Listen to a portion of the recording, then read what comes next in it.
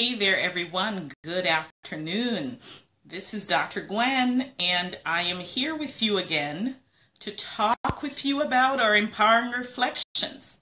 Now, I know that it seems to me when I did the daily live cast that there was a bit more of a continuity than doing it once per week. But what once a week allows us to do is to reflect on whatever we have talked about during the previous week and to hopefully put some of that in practice. What I'm hoping here today is that some of you will begin to join me on a much regular basis and we can get a process going to help you to achieve whatever it is that you are wanting to achieve. So now today our topic is about let's take inventory, progress inventory. It's like a progress report. And no, we're not in school. And no, the goal is not to try to make anyone feel bad about what they have achieved. But let's be real here today. It is February, and my calendar said, says it's February 13th, which means that we are actually literally in the second week of February. Yet it was just a few short weeks ago that we welcomed 2017. And during that time, you, as well as many other people, may have said, okay, this is what I want to do for 2017. I'm going to work on my health. I'm going to achieve more money. I'm going to give to the needy. I'm going to volunteer more. Whatever it is that you decided that it is what you wanted to do is what you said. And so now let's take inventory. It's about six weeks, maybe seven, into the year. And what have you done? Have you accomplished so far what you feel like you set out to do? Do you even know whether or not you are making the progress that you need to do? See, my chat with you today is not just about New Year's resolution. It is about how you tackle the things in your life. The whole process is people feel as though they are procrastinating on a daily regular basis, that they're not meeting their goals, that they're not meeting their commitments, and therefore they get frustrated and feel a, a great lack of fulfillment around the things that are in their life. So I want you to join me in 2017 to really have the best year ever. There is no reason why we can't. And I want you to know that yes, it is partially the fulfillment of your goals, but having the best year ever is also a way of being. It is a way of being that is who you show up as and who you choose to be or to reflect yourself as despite what is going on in your circumstances. That my friend, is the main source of being and having your best year ever. But that conversation I will leave for another time. What I really want to reflect on with you today is simply the inventory, the progress that you have been making with the goals that you have set out to achieve. So now let's let's put some things, put on some meat on the bone, so to speak, right? what have you been putting off from time to time? Maybe you said it in January that you're going to achieve it and you haven't. Maybe you said it two years ago, two months ago, 20 years ago.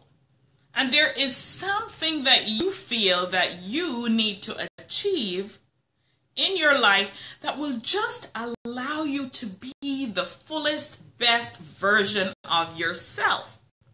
Right? And what is that goal for you? What is it?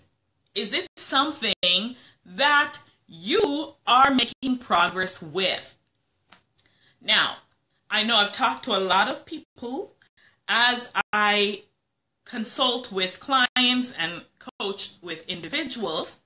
There are certain words that I hear people saying over and over. Such things as, well, the time is not right. Or other conversations that they tell themselves, such as, you know, you've got to have some fun. You can't just really be pushing and pushing and pushing. All right, I can agree with that. But you know what I really truly believe? That the latter conversation, that latter one, the last one that I just said, is a way for people to get out of their commitments, out of whatever they're going to do. They have told themselves that if they're pushing to achieve a goal, they cannot have fun. And that the two are not mutually exclusive. You can push to achieve your goal and you can have fun. So get off of that story. get off of it, leave it behind, like right now. But what about that first one about making time? I know life happens, and I know things show up in our lives from day to day. But if you have been telling yourself for maybe weeks now, or months, or years, or decades, when the time is right, I will do it, then you are cheating yourself and robbing yourself of that wonderful, glorious feeling of fulfillment and satisfaction. And that, my friends, is what makes the difference between those of us who are really happy and those who are grumpy. Those of us who wake up welcoming the morning, welcoming the rain and the snow and the sunshine, whatever the conditions are that are outside, and those of us who find those things to be annoying and lackluster, and robbing them of whatever it is that they think they're after. So, wouldn't you like to wake up every single morning and feel as though that you are looking forward to just taking on that day and making the best of it? Now, I do understand that some of you have jobs that you probably are not too enthused about. And even in the face of that, though, remember what I said about the way of being? That you can show up to choose to be somebody in the midst of that job.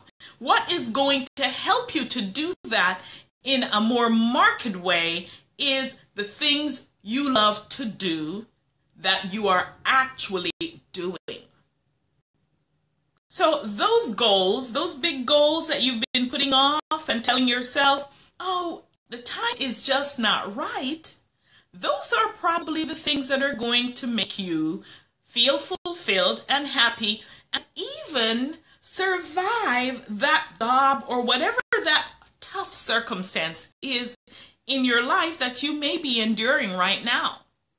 So it's not a matter of rushing to get to it or giving up fun to get to it. It's a matter of you feeling fulfilled and satisfied and happy with your life. So now let's just get down to some things.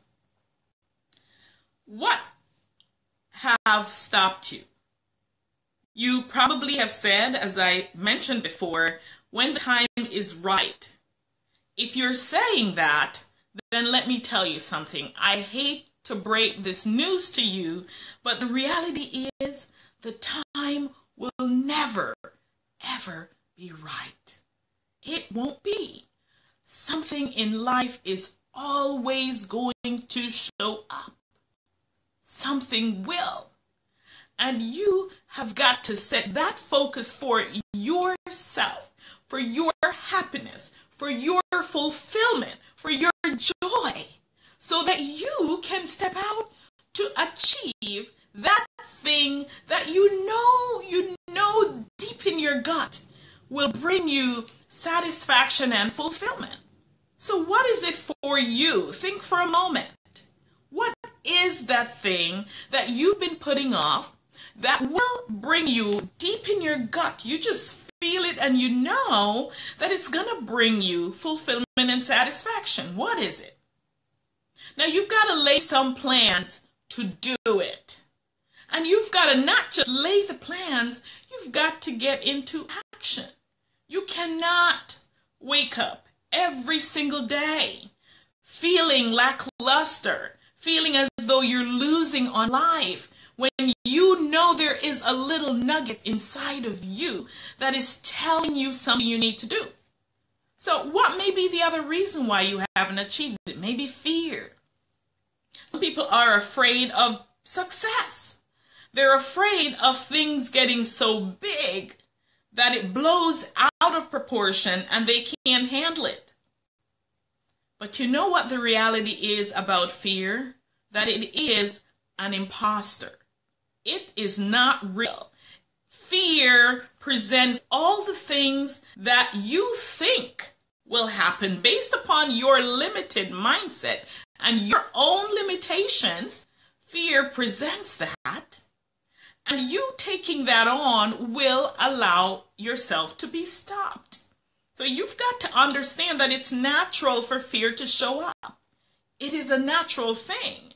And you're never going to get rid of it when you step out to do something bigger than you are doing right now. That is just the reality. We all experience it. And yes, you, it may take you a moment to absorb it, but acknowledge it. Don't fight it. Don't try to say, oh, poor me, or why am I feeling this way? Uh-uh, just acknowledge that it's there.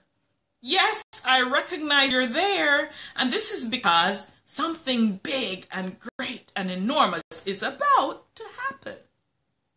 So once you acknowledge that fear, then step out, my friends, and start in action. Now, what if the thing gets too big? Deal with it at that point something will come, come up to allow you to deal with it in that point. This is what we fail to realize.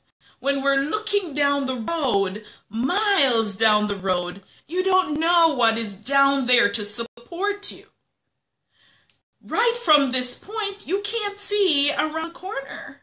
You don't know it's there.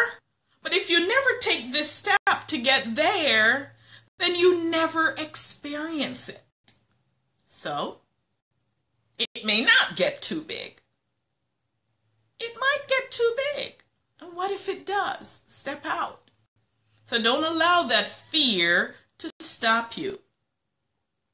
Now, what I want to encourage you to do at this point is to begin to just take a, a step back and reflect on what that thing is that you feel like you need to have, right? What is it?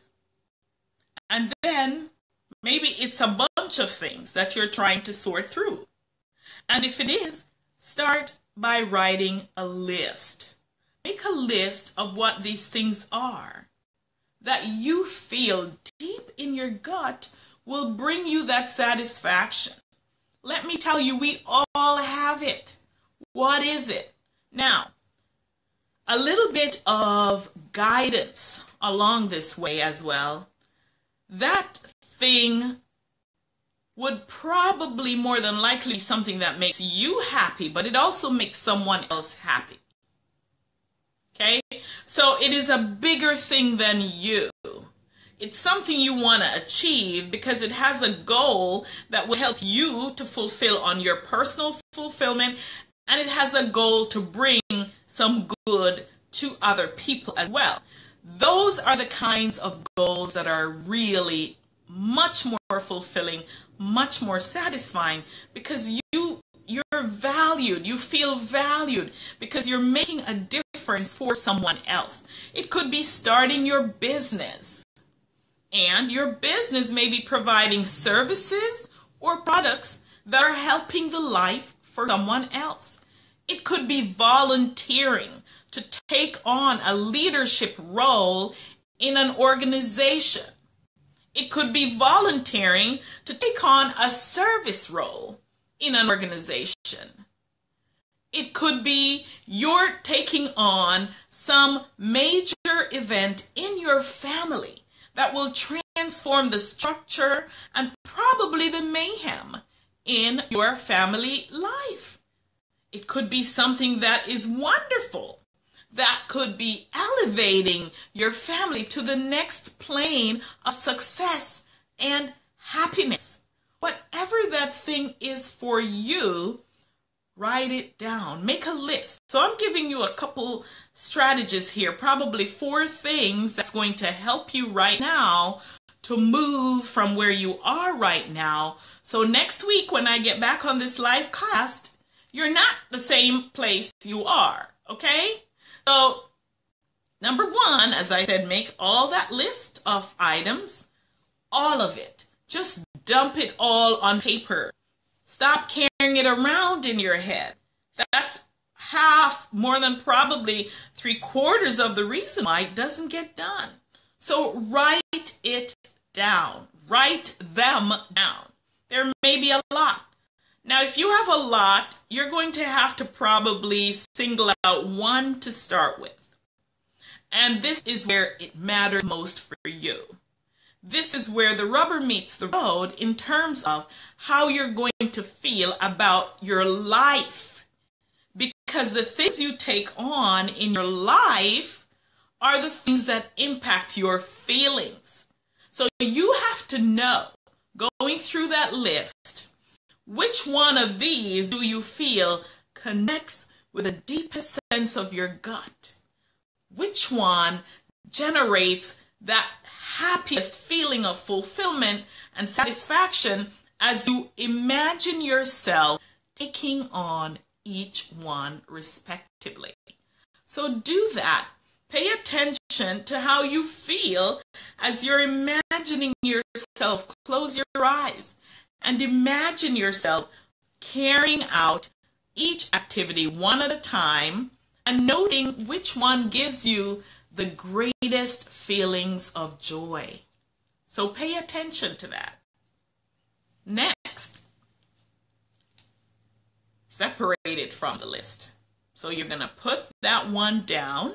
And once you separated that, then the third thing is you're going to write out the clearly exactly what it's going to look like for you when you have achieved it. You cannot work at a goal without knowing what you want. So that clarity is very important. Write down what you want. What is it looking like? When I achieve this goal, if it's a, a, monetary goal, how much is it? If it's a relationship goal, what are you doing in that relationship that's now transformed? Visualize and notice what it is like so you can see what it is. There's a benefit for writing out all of this. And the number one benefit is that you can now start to set up goals for yourself. The goals for what you want to achieve, right? Could be if it's a business opportunity that you want to start. What does this business look like once I have fulfilled it and once I have stepped in it and it is progressing the way I think it want it needs to, what is it looking like? What are the energies? What's the happiness? What is the feeling? How much money? What are the joys? How am I celebrating? Just really kind of picture what it looks like. Now I want you to go back and write down the tiny steps that's going to help you to get there. These steps are critical. That's what a lot of people miss. And then they don't achieve the goals and they don't know why. Now, remember at the beginning of this broadcast, I said to you, are you even knowing whether you are making progress on the goal? So that this next thing, when I said write those steps down, this next thing is a number five thing. So now you're going to put those steps into your structure, whatever it is. If you use a planner or you use your phone, you use a calendar or a sheet of paper, whatever it is, write it down on the sheet of paper so that you can actually now see the dates when every step is to happen. So you plan this end goal by this date, I will achieve this activity. And now you break down into steps of how you're going to get there. And for each step, put a date on it and put it in your calendar. If it's not in there, you don't even know if you're making progress. That is how you're going to be able to keep track to know whether you're making progress. So maybe for some of you, you want to write a book. The book has 10 chapters. You want to get it done in 10 months. You know you must write a chapter per month. And that chapter may have maybe 20 pages. So in each week, four weeks, you need to have five pages done every week, which means that on average, you have a page done every single day. Write it down. And now, my friends, if you skip that week, you know you're five pages behind and you know you won't be able to achieve that unless you double up the next month or you're not going to meet that goal. See how simple that is? So thank you so much for joining me, friends. I really appreciate it.